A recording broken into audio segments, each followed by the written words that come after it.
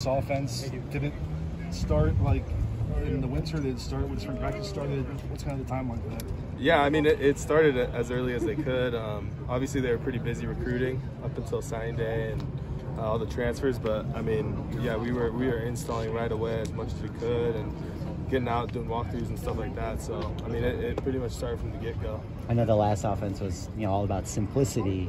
Seems like this is less so. How different is that for an offensive lineman kind of learning the scheme? Yeah, I think you know there's definitely like a little bit more on your plate, but uh, you know the concepts are, are still relatively the same, and uh, you know maybe just get a little deeper dive into each play, you know formations, all that good stuff. So um, you know the concepts are pretty similar, and we got a lot of smart guys, you know, a lot of lot of experience. So um, it hasn't been like too crazy where, where we feel like it's flying all over, but um, yeah, it's, it's definitely you know put more time, put more effort, and uh, a lot more communication going on.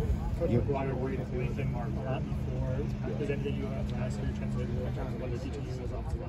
yeah, definitely. Uh, you know, Coach McGuire was awesome. Uh, we improved a lot.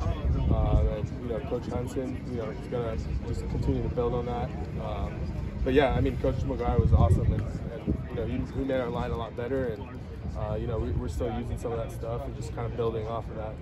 Uh, I, I, really like Henson because he's you know letting us play uh, kind of off our experience a little bit. And, uh, you know, he's not like you have to do it this way or, or it's wrong type thing. So uh, it's been great, and uh, it just feels like we're building off a better year where we improved.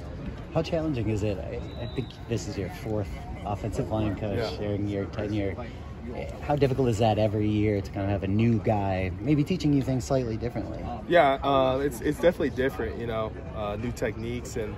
Uh, you kind of you know build some habits and then uh, you, you maybe do something and you know Henson's like hey why don't you try this and um, you know just those reps uh, doing it one way for a while and then having to switch is, is a little tough but you know we'll get there uh, you know it's only our second day in pads so um, you know those reps are super valuable um, you know, we got to take advantage of each rep we get. First day in pads was on Saturday. How was that?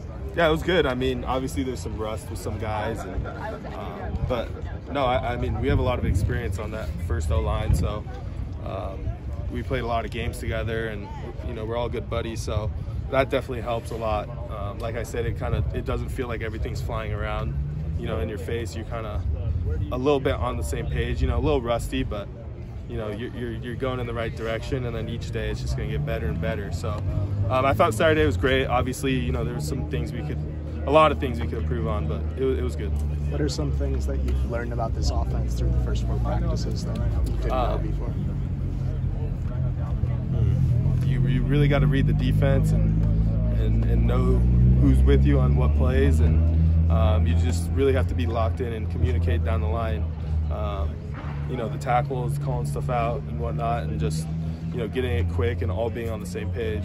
Um, I, I, that's definitely a huge key and just something that we'll get better at practice, you know, after practice. And um, yeah, it's, it's going to be good at the end. I think, you know, come spring game, I think we'll really be in a flow.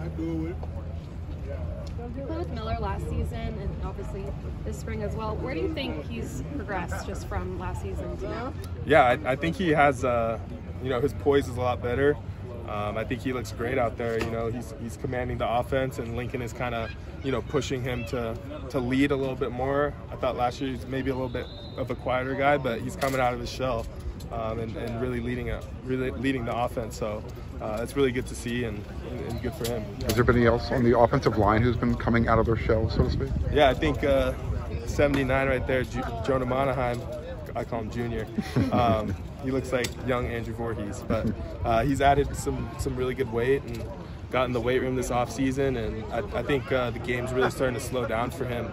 Um, so you know, with the added weight and, and the game slowing down, I think he's looked looked really good. Thank you.